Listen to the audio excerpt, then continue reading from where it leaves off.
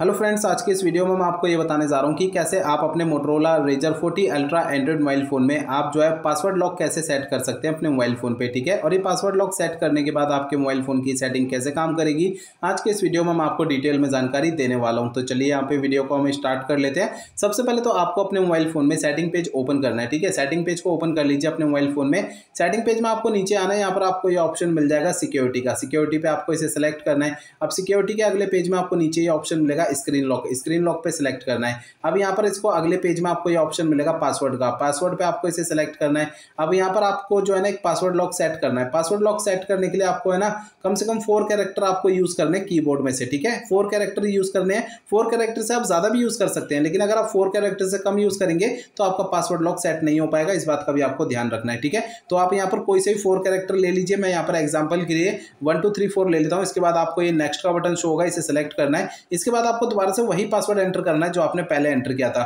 इसके बाद आपको एक कन्फर्म का बटन शो होगा, इसे आपको सिलेक्ट करना है। इसके अगले पेज में आपको नीचे डन का ऑप्शन शो होगा डन पे सिलेक्ट करना है। यहाँ पर आपका जो है ना स्क्रीन लॉक के नीचे पासवर्ड लिखा हुआ आ जाएगा तो इस तरीके से आपका ये पासवर्ड लॉक सेट हो जाता है। अभी पासवर्ड लॉक काम कैसे करता है, ये मैं आपको समझाता हूँ। देखिए दोस्तों, जब भी आप फ़ोन की स्क्रीन को ऑफ़ करेंगे, इस तरीके से फिर इसके बाद स्क्रीन को ऑन करेंगे तो यहाँ पर आपको स्वाइप करना है ऊपर। तो आपको ये पासवर्ड लॉक दिखेगा आपके फ़ोन पे। यहाँ पर आपको वही पासवर्ड एंटर करना है जो आपने सेट किया था। इसके बाद नीचे राइट क्लिक का ऑप्शन दबाएँगे, आपका फ़ोन अनलॉक हो जाएगा। तो ये पासवर्ड लॉक सेट करने के बाद ऐसे काम करता है। अब मैं आपको इस सेटिंग को ढूँढने का एक शॉर्टकट तरीका बताता हूँ आपके मोबाइल फ़ोन में। इसके लिए आपको मोबाइल फ़ोन का ना सेटिंग पेज फिर से ओपन करना है। सेटिंग पेज में आपको सबसे ऊपर सर्च सेटिंग का ऑप्शन सेलेक्ट करना है और यहाँ पर आपको सर्च बार में स्क्रीन लॉक आपको टाइप करना है, ठीक है? तो आपको नीचे की साइड में ये स्क्रीन लॉक का ऑप्शन शो हो जाएगा, ये वाला, ठीक है?